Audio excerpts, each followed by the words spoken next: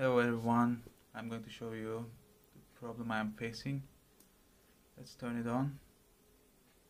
As you see, nothing is happening. But now, suddenly it's connected. Okay, let's try again.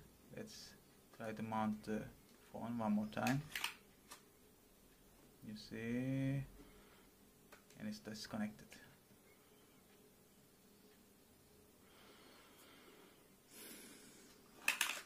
okay let's keep it connected. Now let's enter the test menu. And let's check the buttons. The buttons on the right side are not working at all but the left side are completely fine.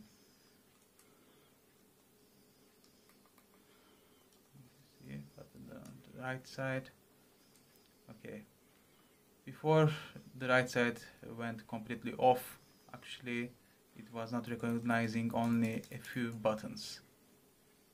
But now it's completely off just after three or four days. Just in case I tried auto calibration calibration one more time. Still nothing is going on. Okay. Let's open it up. It's connected and now going to be connected again.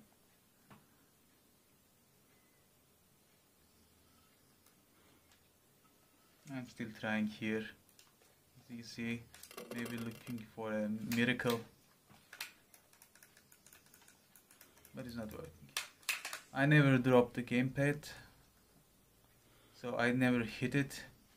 I really like kindly use it let's say because I want it to last long. But at the end of the day I guess what I heard is that this is the main issue of the telescopic gamepads I couldn't find any video about this issue on YouTube. I found some on Reddit and different okay, platforms time. but it was just like a forum. Here I wanted to demonstrate it. Now I don't know what I'm going to do. I ordered this from uh, Banggood. I will try to contact them.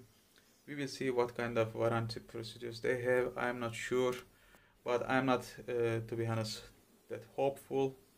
And uh, I can say that I really like the gamepad. I enjoyed it a lot. It was quite nice, quite portable also.